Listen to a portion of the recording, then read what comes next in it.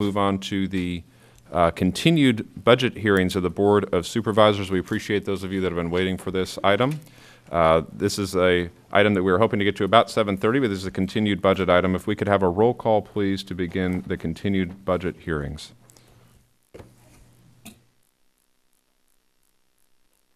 Supervisor Leopold, Coonerty. Here. Caput. Here. McPherson. Here. Chairperson Friend. Here. So we are all here. Uh, We'd also like to introduce uh, Carlos Landavery, who is available for translation. Mr. Landavery, if you could introduce yourself in case anybody needs your services. Un placer, a pleasure. Buenas noches para las personas que necesiten traducción al español. Estamos en el canal cero. Prenda el aparato. Asegúrese que, la pantalla, que el aparato esté frente a la pantalla. Muchas gracias. Thank you. Okay, we'll open up uh, with the remarks from our County Administrative Officer, uh, Carlos Palacios. Mr. Palacios, good evening. Welcome. Uh, Good evening. Uh, This week, we have begun our county budget hearings for 2018-19 county budget. Uh, County department heads will present information during this entire week, Monday through Thursday, uh, information on the programs that they administer, and members of the public will address you about the impacts of the budget on a wide range of community needs. Uh, We believe our work to date represents a number of key successes that respond to your priorities as the Board of Supervisors, and that this budget builds on that momentum. You will hear more about these successes as each department uh, presents their budget throughout this week. And again, budget hearings will be uh, from 9 o'clock till approximately noon at the county budget office, or county uh, chambers um, at 71 Ocean, and also uh, we have all of the documents of the budget on uh, our website. When I began this job, I laid out a um, three-year um, plan, and the first part of that plan um, was the strategic plan and to provide strategic direction for the county, combined with fiscal stewardship and augmented services. The strategic plan has uh, three phases. Um, This year, uh, fiscal year 17, uh, 18, we are doing a six-year strategic plan, which will implement overall goals for the county. Uh, We presented that uh, strategic plan to the board. Uh, During the past year, we've had focus groups throughout the county in each supervisor's district. Uh, We've also gone out to the community. We've gone to farmers markets, for example, and community groups to seek input. We also had a survey that was online where we had over um, 2,000 people respond with what they felt the priorities of the county should be. Uh, This will be adopted by the board next Tuesday um, during our final budget hearing. Phase two of our strategic plan will be to develop operational plans for our departments, which contain much more specific goals. These will be a two-year operational plan uh, that tie the strategic plan to our budget. Our budget will be also a two-year budget, and the link between the budget and the strategic plan goals will be these operational plans. So we'll be developing that in the next fiscal year. In addition, we are implementing an, an initiative called Continuous Process Improvement, uh, meant on improving uh, the services that the county offers to the public. Uh, finally, in fiscal year 1920, the third year of the work plan, we will begin uh, doing performance measures for our various county programs. In some departments, we are actually doing this already. For example, uh, our Human Services Department, um, who I see seated, I see members uh, seated out in the audience, uh, some of our Health Services Agency programs, and also our Probation Department uh, use performance measures extensively already. But we intend to do this countywide uh, throughout the county, and so we will be doing training during the next fiscal year and then implementing it in uh, 1920.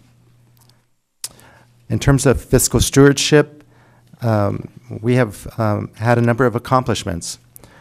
Um, number one, we've tripled our uh, reserves.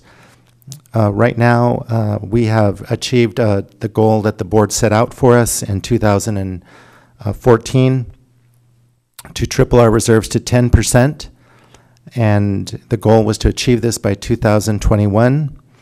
And in fact, uh, we achieved it this year, last, actually last fiscal year. And so we were three years ahead of schedule, and uh, this has led to um, a number of good things, one of them being that our credit rating has improved. Um, S&P Global um, Ratings uh, last year in 2017 uh, upgraded our rating for bond and other debt issuances to double A plus. Um, that's for a lease revenue um, debt instrument. If we were to issue a GO bond, a gen- general obligation bond, we would be rated AAA, which about is about as high as you can get. And in their rating, uh, S&P Global Ratings noted that uh, Santa Cruz County has a very strong economy, that the county has a very strong management with very good financial policies and practices. We have had strong budgetary performance with a balanced operating budget.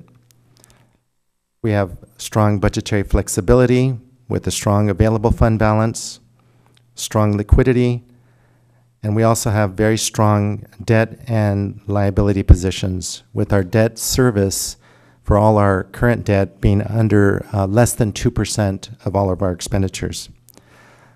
So that um, points to the board's very conservative and prudent management of the county um, budget. Uh, we've also um, reduced our pension obligations. In 2007, uh, the board uh, took action with our labor partners uh, to negotiate a cafeteria plan and a cap on retiree health benefits. Uh, by doing this action in 2007, we reduced our unfunded liability for retiree health benefits by $35 million. In 2012, the county, um, with our uh, labor partners, implemented a health longevity schedule that links the level of benefit to years of county service and age at retirement. These reforms, again, that was implemented, were implemented by the board with our labor partners, reduced our unfunded liability for health benefits by $54 million. So um, these two actions alone uh, reduced our unfunded liability for retiree health benefits by $89 million. In addition, in 2012, uh, the county board, with our labor partners, implemented a second tier for our PERS retirement for all of our employee groups. This increased the retirement age of our, uh, for our employees, reduced the benefit formula, and increased employee participation. This was done to make sure that our retirement system was more sustainable. Uh, this action, uh, implementing a second tier, reduced costs by over $93 million in terms of our unfunded liability. And then in 2013, uh, the state implemented um, uh, retirement reform as well at the state level, which also further reduced uh, the benefit formulas.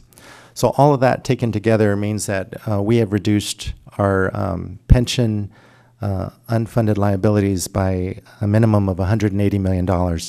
And this, uh, again, is another sign of the board's prudent and very conservative fiscal stewardship um, that has resulted in our improved credit rating. We've also uh, controlled employee growth. In 2008, we had over 2,700 employees. Um, this is um, right before the recession. Um, today, in this budget that we're presenting to you, we have 2,470 employees, uh, 235 less employees than before the Great Recession in 2007 and 8. That's a 9% reduction in our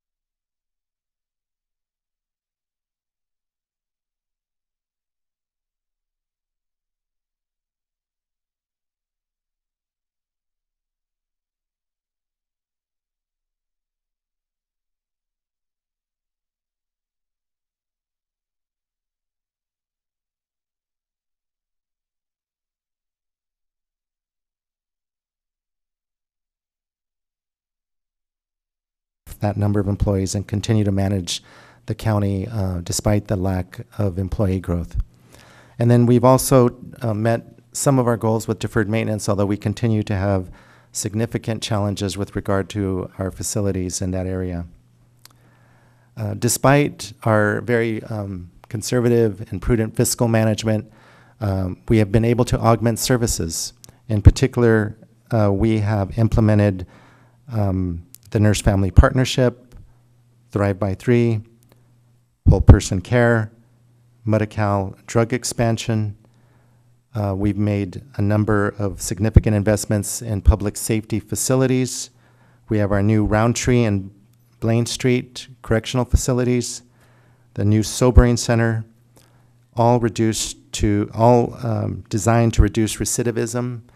Uh, we've also uh, increased the amount of funds we dedicated to homeless services. So despite uh, having a very tight budget, we have augmented our services significantly. Nevertheless, we have a lot of critical unmet needs.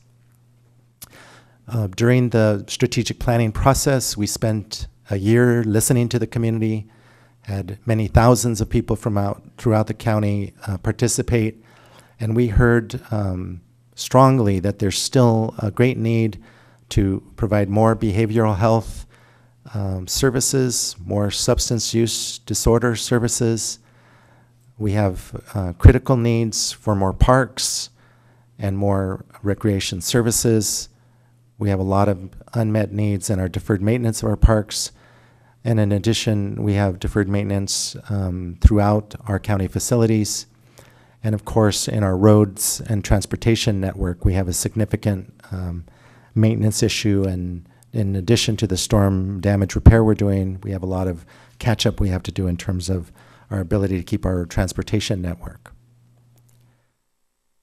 Going now into the budget, um, our budget is, is very big. Overall, it's um, three quarters of a billion dollars, so $777 million.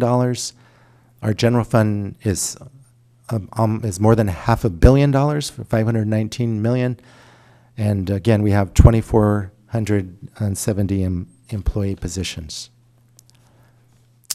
Uh, we continue to see um, steady, if not spectacular, growth in our tax revenues, in particular led by our um, property tax and hotel tax. This is our property tax, which represents our most important revenue for the county by far. And you can see that it has grown steadily over the last decade. Sales tax has stagnated, which is something that's new given that we're in an economic expansion. Um, part of this is due to online shopping. Part of it is due to people spending more money on experiences rather than things. There's lots going on there. It's being seen uh, statewide that sales tax revenues are stagnating. Uh, however, our hotel tax continues to grow um, at a healthy rate, partly due to our agreement with Airbnb and, and bringing vacation home rentals uh, into paying their hotel tax. Uh, you can see when you look at our overall budget that uh, 40% of it is in health and human services. You can see that when you look at our revenue sources for our overall budget, that almost half of it is under governmental, which means federal and state money. Um, tax revenue is only 25% of our budget. This is very different from a city, for example, where taxes would represent almost all of the budget. These are expenditures by category. Again, um, health and human services taking a big portion of that.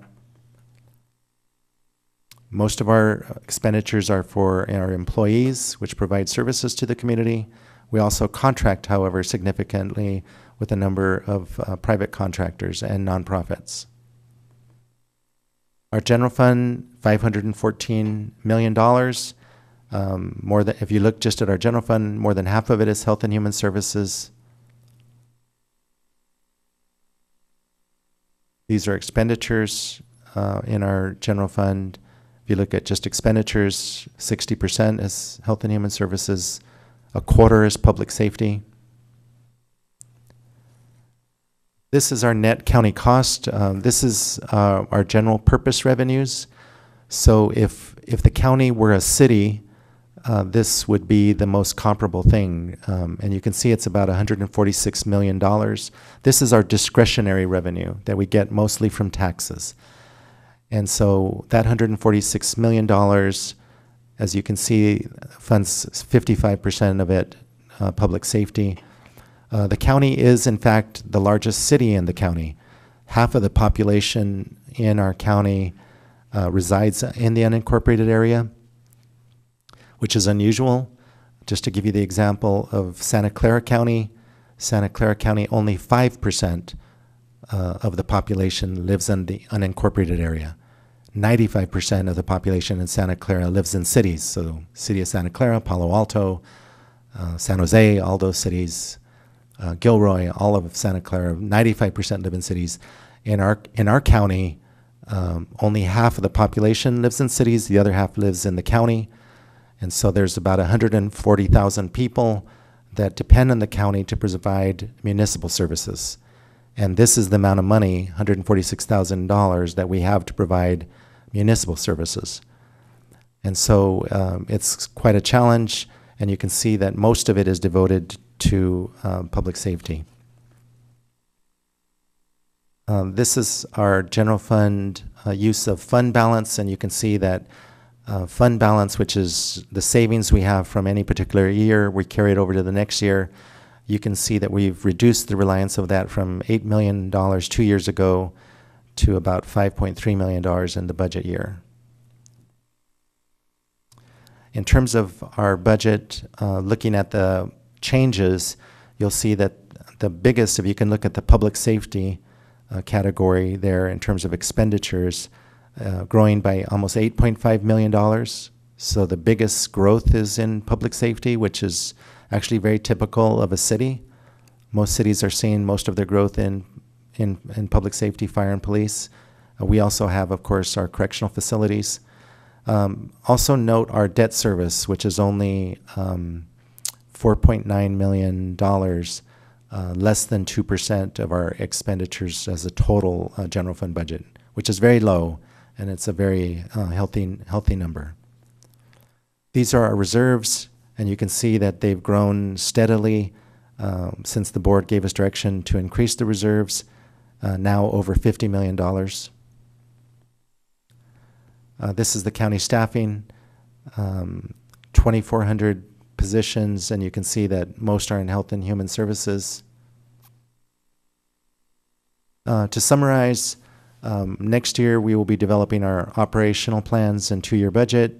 We will continue to implement our continuous process improvement initiatives and pilot projects. Um, we are um, attempting to continue to have fiscal restraint. Uh, however, the challenge before the board is that there's some critical unmet needs that the community has communi- has told us very strongly that they would like us to try and meet as we went through the strategic planning process. And so that will be the challenge of this budget hearings, and that will be the challenge before the board is uh, how, with the very um, limited budget flexibility, how do we meet some of the critical and meet unmet needs that the community has identified over the last year. That concludes my presentation. Uh, Thank you, Mr. Palacios. This morning, uh, the board did ask some questions, so we're just going to open this straight up for the community since people have been waiting uh, for the opportunity. This is an opportunity for members of the community to address us on uh, the budget. There's no action taken tonight on it, but this is an opportunity for you to provide input on the budget. Anybody would like to speak, please feel free to step forward. Good evening, welcome back.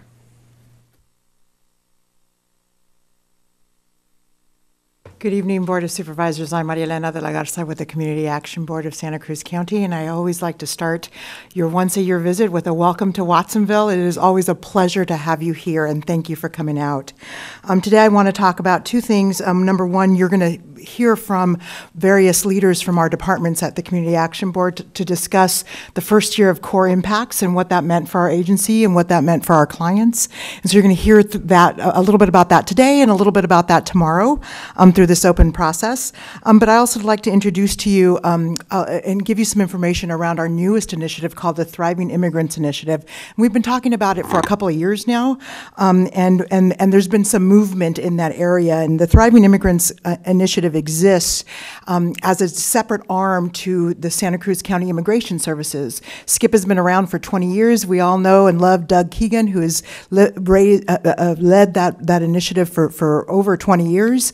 Um, and the Thriving Immigrants work is in conjunction to the SKIP services. And the difference is SKIP exists for people who have a remedy, that there's, a, there's, there's something that they can do, can apply for, can, can, can, can move so that they get closer to their goals of citizenship or, or authorization, right? There's a remedy for them. The Thriving Immigrants Initiative is for people with no remedy. And as you know, in our community, there are thousands of folks who are undocumented immigrants who need support now more than ever. I invite you to watch KSBW tonight. They did a small snippet uh, on our, our services. But what it's important to know is what's happening out in the community. You've heard it. You've heard it from your constituents. You've heard it from service providers. You've heard it from your staff um, about what is, how the community is responding to this political landscape. And so the Thriving Immigrants Initiative, what it is doing, it is creating a response plan to support those families without remedy.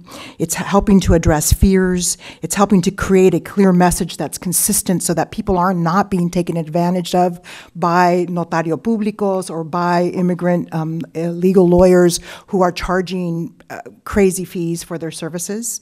Um, and it's also bringing together a partnership, specifically here in South in South County, of partners who are helping to address the issue, like PVPSA, like Like Salud para la Gente, like Community Ventures, and like Catholic Charities and the Watsonville Law Center. So it's bringing us together. The Packard Foundation gave us some seed money for these services, but we're just beginning the work. And what's critical about it is, is you know, people are saying, look what's happening at the border, and it's intense and it's very difficult to watch. But we also need to ask the question what is happening to the families here? Because similar things are happening in terms of families being separated and services being needed for those families. Um, and so I ask you to think about supporting our Thriving Immigrants Initiative. We, we requested some set aside funding. There's a, there's a recommendation to support some of that funding, and we're asking for full funding and also to help us think about how do we work with the county to strategize what is the next level of services Thank you. beyond Sanctuary City. So we, need, Thank we have a lot of work to do. Thank you. you. And we did receive that request in the letters. Hi, my name Evening. is Elizabeth Lopez, and I represent um, Community Action Board of Santa Cruz County Immigration Project and Thriving Immigrants Collaborative. And tonight I'm here to share with you guys what we're doing at Community Action Board. And we are actually responding to those families who have been de- who have been impacted by a deportation. We are responding to those individuals who are detained, and we are also responding to those people who come very anxious, very nervous, and scared when they get those letters um, to appear in court. And we also respond by supporting them and connecting them with an attorney that has a capacity to represent in court and also by connecting them with emotional support services, as well with community resources within our agency and outside our agency. And we ask for your support to continue to do this great job because the community needs this service to continue. And I'm going to share with you a little, um, some positive words from a client who's very happy. And she says, this program lifted this big dark cloud that was around me. They gave me information that I didn't know, and I am able to sleep now. I am not scared anymore. I thank God every day for the people in this program that took um, the time helping me and helping others, and I was assisted with emotional and financial aid. I feel like a new person thanks to them. Thank you for listening. Thank you for coming tonight. Good evening. Welcome. Good evening. My name is Maria Rodriguez. Um, and first of all, thank you so much for your leadership and vision and supporting programs to improve the lives of immigrant families in our county. Uh, and I am the prog- employment program specialist for the uh, uh, Day Worker Center. It's under the it's under the Community Action Board. The Day Worker Center provides safe space for day workers to access job matches and secure dignified wages for men and women, and also uh, provides family supportive services. As a response of the political la- landscape this year, we have teamed up with CAB's Thriving Immigrants Collaborative, and with the support of the county set aside funds, we have provided critical, important, in educational and supportive services for our immigrant families. Uh, some of our highlights for this year at the Day Worker Center that you you know that you have helped us you know to be able to uh, come across this past uh, months to be able to accomplish. We have uh, since July we have completed 30 child uh, child safety plans to support those at risk of deportation. We have also been offering weekly ESL classes and immigration educational workshops, job readiness skills workshops, and know your rights workshops, and offering leadership skills to day workers. In May, uh, we, uh, we have reported uh, 16 61 registered day workers who generate $29,000 on job matches. Your maximum continued support for the Set Aside Fund will ensure that we continue to support families navigate the process of finding legal representation, accessing needed services, and exercising their rights. On behalf of the day workers, I would like to urge you to support the full amount of funding that we requested from the fund, from the Set Aside Fund to continue to support the families in our communities and children. Thank you. Thank you.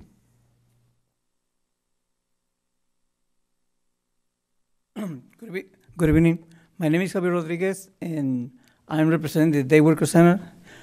Uh, and thank you for your service. I'm here to be an example in what to feels like to be a day worker, and where I found a place where I can uh, provide for my family and provide for others because about my leadership.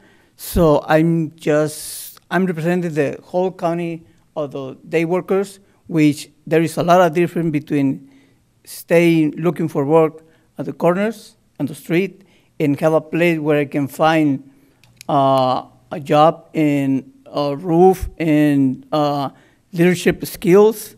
So there is a lot of different, and all this is probably taking most of the immigrants like to go to the worker center because they can find a home. And I urge you and I um, to ask you to if you can keep funding this service because this is really making a difference in the county. Thank you. Thank you.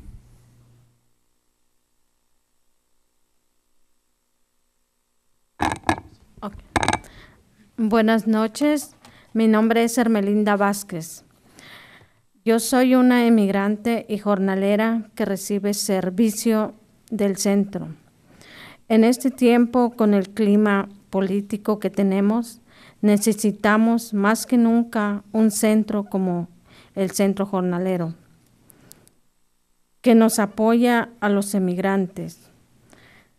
Como mujer, en este centro me ha dado, me ha dado la, oportun- la oportunidad de buscar trabajo en una manera segura.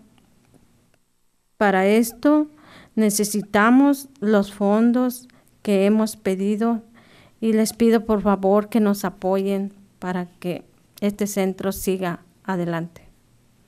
Es todo, gracias. Gracias. Mr. Good evening.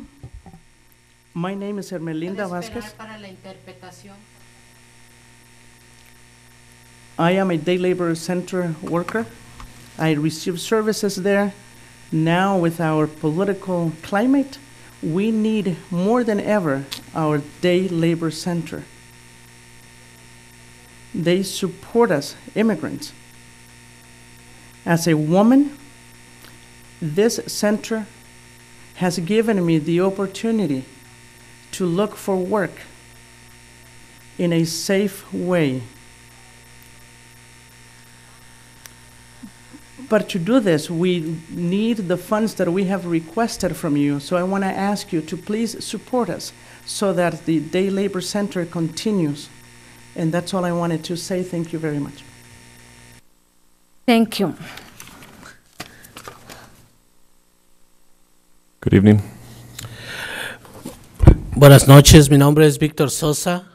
and soy un inmigrante que pertenezco al Centro Jornalero de Santa Cruz. Quiero decirles gracias por el soporte que han dado al Centro Jornalero y a la organización que nos patrocina. Am, también quiero decir que es muy importante tener este centro abierto, am, ya que pues es un, un lugar accesible para toda la comunidad, a donde podemos conocernos todas las razas, no importa el color, es un lugar seguro, a donde podemos expresarnos y buscar un lugar seguro para trabajar. Y también eh, me he dado cuenta que ah, cuánto es de importante tener este centro, ya que he salido a trabajar por medio del centro y he encontrado empleadores que realmente necesitan de personas como nosotros. También me ha ayudado a, a desarrollar un liderazgo en la comunidad.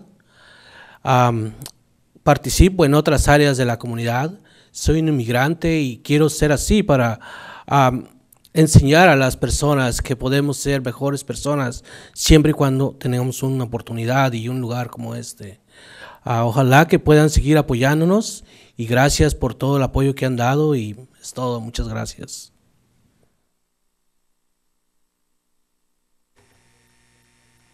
Good evening. My name is Victor Sosa. I am an immigrant. I am part of the Day Labor Center in Santa Cruz. I want to thank you for all the support that you have provided our center, the organization that gives us all of these benefits. I also want to tell you that it is very important to maintain this center open. It is a very accessible place to the entire community where we can get to know each other, people from different races, different colors, different places, different backgrounds. This is a safe place where we can express ourselves, where we can find a safe job.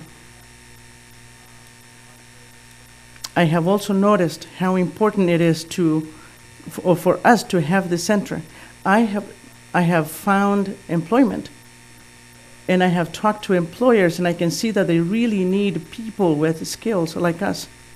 I've been able to develop leadership skills in the community. I have helped, and I also participate. I volunteer in different areas of the community. I am an immigrant, and I want to do it this way because I want to teach people, I want to show them what we can do as an immigrants if we are given the opportunity. So I hope that you can continue supporting us. I want to thank you for all the support you have given us and for all the support that is coming. Thank you so much. Thank you. Thank you. Good evening, Mr. Keegan. Welcome. Morning. Uh, Doug Keegan, uh, the director of the Santa Cruz County Immigration Project, a program of the Community Action Board. I wanted to bring up that this year has been a very challenging one for immigrants in our county, but it is gratifying to see the county affirming their commitment to the well-being and security of immigrants in Santa Cruz County. The Community Action Board has found critical support and collaboration from the Department of Human Services, from the Sheriff's Department, and in fact from you elected officials as well who have given your time and have have appeared at the events that we have held throughout the county, and we appreciate it. I, I also am compelled to say that there are many challenges ahead. Um, we know that ICE actions and raids will continue in our neighborhoods and workplaces. We know that California is a target. We see that the administration plans to expand the grounds of public charge to deny people who are applying for residency. And already we see frightened families, many of whom are parents with U.S. citizen children, declining the assistance that they need from the county um, or disenrolling discontinuing the benefits that they've been receiving, such as CalFresh and Medi-Cal. So we know that this is going to have a huge impact, but uh, we look forward to continuing to work with the county in opposing these very malevolent actions that we see in our in our county.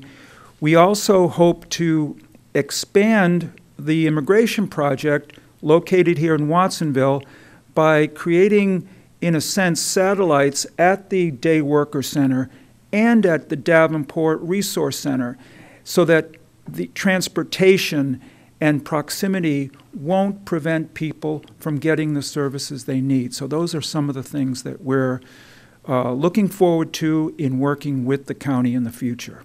So thank you very much. Thank you for your work, Mr. Keegan. Truly.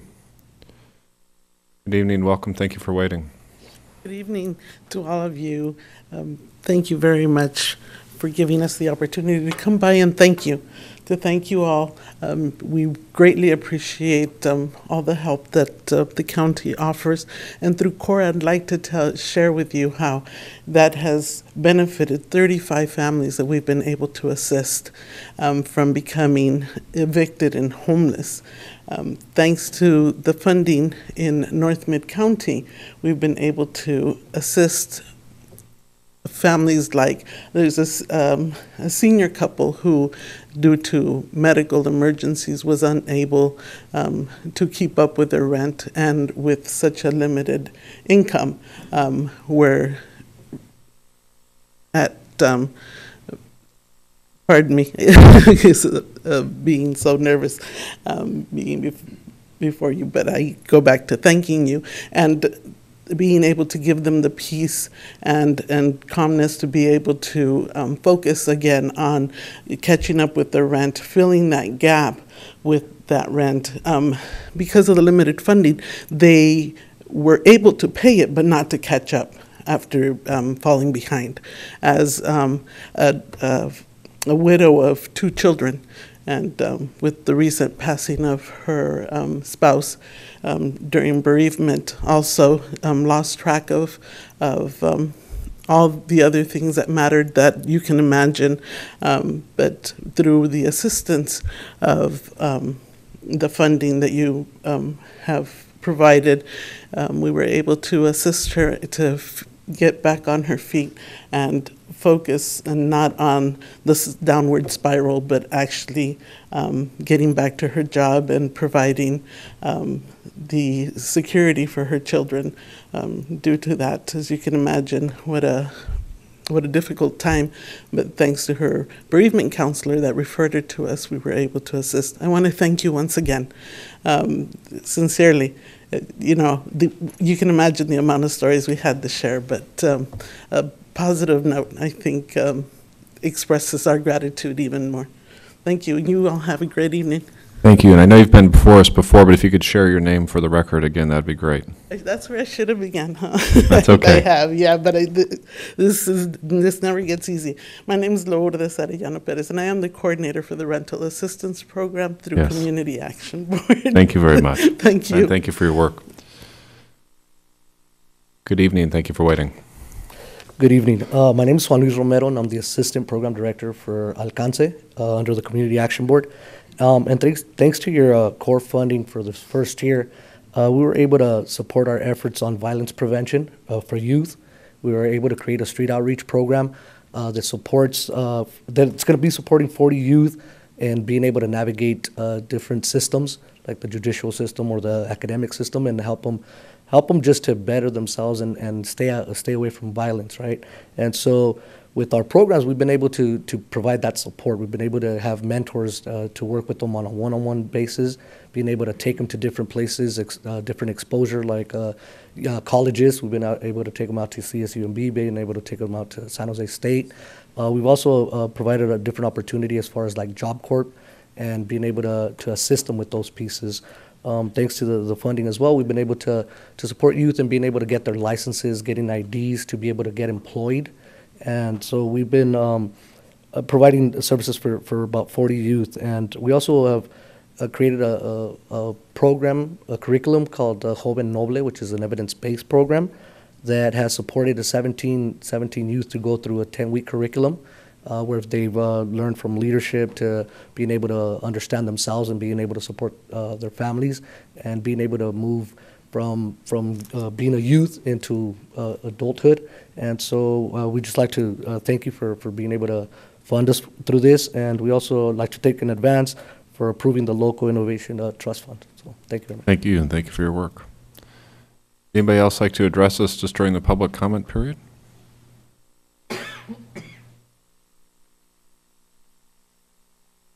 Good evening and welcome back. Good evening, Steve Trujillo, per- Personnel Commissioner for the city and resident of Watsonville and Pajaro Village.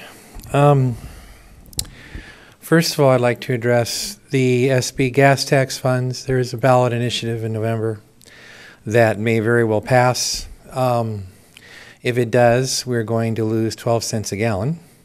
Um, 25% of the budget may be taxes, but we all drive on the roads, and frankly, in South County, the roads in the unincorporated areas are third world. I know I drive them every day.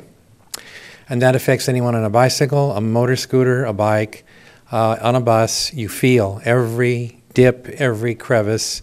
So I'm hoping the county is going to come up with a plan that if that is repealed uh, in the in ballot initiative in November, um, what happens to those projects in order to redo the roads? And then we also have to remember that there'll also be a ballot initiative concerning rent control. It may be a bit draconian for many owners. So we need to address the fact that we don't have, to put it mildly, anywhere near enough low and moderate income housing for people, especially people who work here, who are working two jobs and more sometimes more than more than two, and who can't even afford rent the recent survey that said that people who are making uh, 12.50 an hour, working 40 hours a week, can't afford a two-bedroom apartment any community in America. That's how bad this is, folks. We need to really address tiny homes, tiny houses, as Sacramento's doing. And we also, by the way, a good place to start would be Freedom Boulevard. We got lots of empty parking lots there. Uh, and also buildings that are older that have vacant second and third stories, like Main Street, downtown Watsonville, converting them with the owners to usable, low cost housing. We have to think, be creative and think out of the box. And I'm sure all five of you uh, recognize the problem because it's not going away. The homeless live right behind me in the raspberry field where I live on Bronte Avenue, and I hear them every morning. Thank you very much. Thank you. Anybody else like to address us during the public comment on the budget? Okay, uh, seeing none, it's a non-action item. Uh, The Board of Supervisors will meet again tomorrow morning in Santa Cruz and also take public testimony again tomorrow evening uh, regarding the budget. And we appreciate you staying up late with us tonight and coming here to Watsonville for those that aren't from Watsonville, and also appreciate the board coming down. We'll see you in the morning.